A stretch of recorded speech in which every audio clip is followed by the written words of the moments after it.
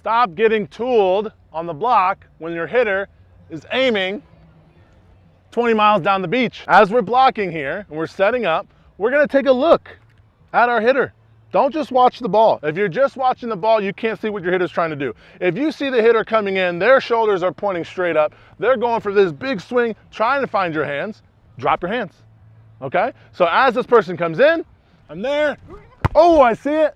Bye bye. Okay? Bye bye. It's gone. All right? So don't get tooled anymore. That's a direct order from Chatty Daddy.